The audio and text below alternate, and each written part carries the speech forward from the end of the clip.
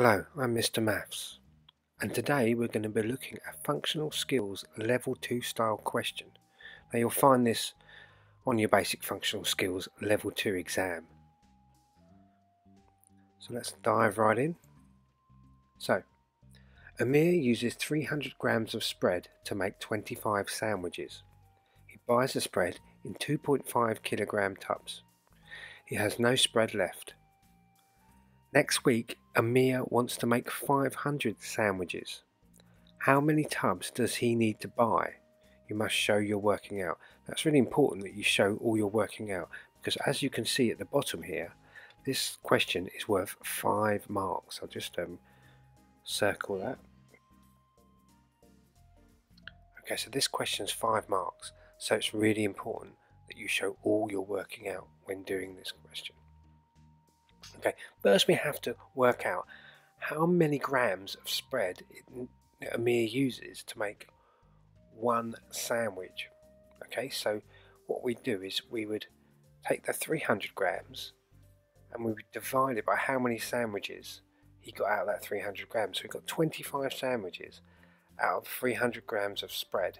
Okay, so let's have a look what that would look like. So 300 divided by 25 equals 12. So it's 12 grams per sandwich. Just says so it's 12 grams of spread per sandwich. So now he needs to make 500 sandwiches. So now we're going to work out how many grams of spread he needs to buy to make 500 sandwiches. So 12 grams He's got to make 500 of those, so 500 times 12 equals 6,000. So that's 6,000 grams to make 500 sandwiches. Okay, so because we're looking at the smaller unit, if you look at my conversion factors video, it shows you that with a smaller unit you divide by the conversion factor to get kilograms. Okay, so if, if I just show you this, so 6,000 divided by the conversion factor is a thousand grams to every kilogram equals 6. So that's 6 kilograms. So he's going to need 6 kilograms of spread to make his sandwiches. Now the sandwiches, they come in 2.5 kilogram tubs.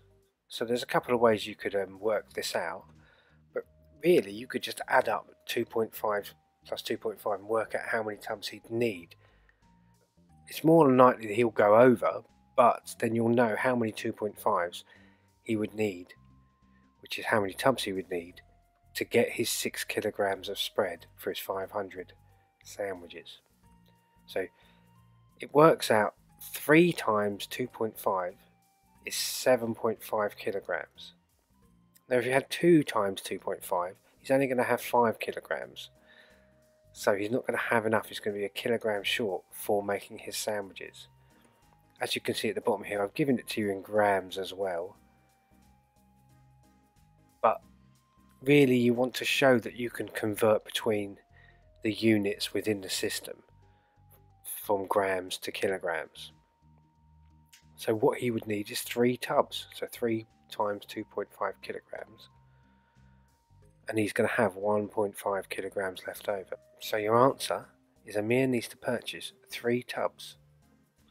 Okay, so just remember you're going to get points for all of these things. You're going to get points for that. You're going to get a point for that.